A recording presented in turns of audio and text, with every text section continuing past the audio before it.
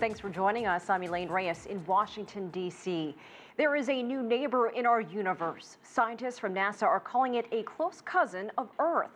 Some of its features are similar to our planet, and it's raising the age old question of whether life could exist elsewhere in our solar system. CCTV's John Zarrella joins us live from Orlando, Florida, with more on this discovery. John.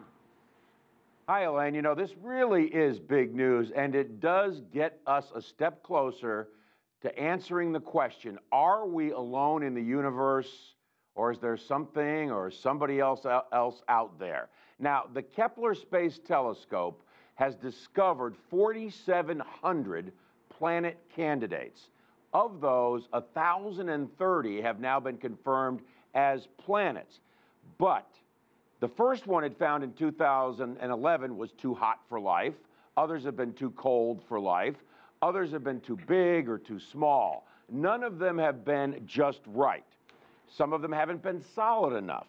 But of all those planet candidates that have been discovered or found, only a dozen of those are in what's called the Goldilocks zone, where it's not too hot, not too cold, just like where Earth sits and rotates around the sun. Now, planet 452b, one of those dozen planet candidates in the Goldilocks zone, has been confirmed, in fact, as a planet orbiting a sun very much like Earth in that habitable zone. And what does that mean? It means that water could have pooled on the surface of that planet, and that means there's a possibility that life could exist on planet 452b if all the conditions were right. Here's NASA's Associate Administrator, John Grunsfeld.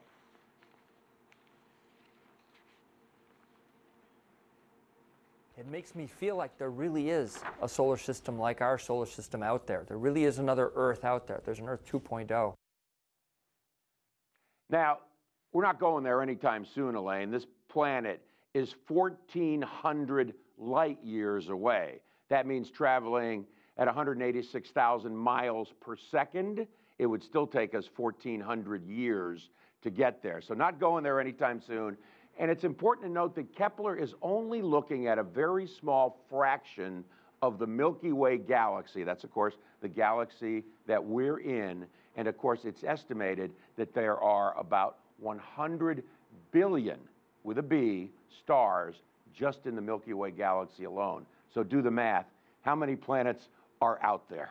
Now, John, does Kepler actually see these planets? You know, that's an interesting point because no, it doesn't. People always say, well, where's the pictures of it? It does not. What Kepler does is it detects a dimming of the star's light when planets cross in front of it. That's called transiting.